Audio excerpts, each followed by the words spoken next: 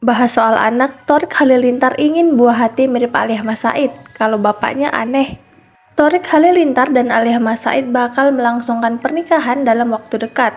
Kabarnya, Torik dan Aliyah bakal menggelar lamaran di akhir Juli ini.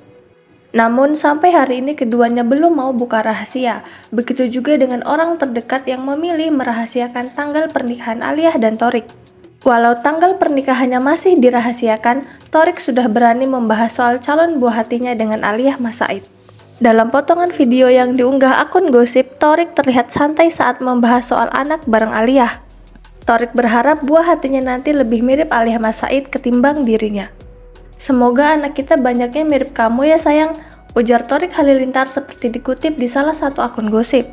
Mendengar pertanyaan tersebut, Putri mendiang Aji Said itu terlihat keheranan. Kenapa? Tanya Aliyah. Torik Halilintar khawatir bila anaknya nanti mirip dengannya, akan bertingkah aneh seperti dirinya. Kalau mirip bapaknya aneh dong, soalnya aku banyak anehnya, aku bapaknya, ujar Torik Halilintar. Mendengar hal tersebut, Alia pun hanya bisa tersenyum. Adik Zahwa Mas Said ini pun menjawab tidak masalah bila buah hatinya nanti mirip dengan bapaknya. Ya nggak apa-apa, jawab Aliyah Mas Said. Potongan video itu pun terlihat direspon oleh beberapa warganet. Mereka pun memberi beragam komentar yang lucu. Bilang aja nanti nggak good looking, komentar seorang warganet. Iyalah Alia cantik, good looking, Alia kapan sadar? Imbuh warganet lain. Kalau mirip bapaknya maka akan lahir jarwo-jarwo baru, kata warganet lain meledek.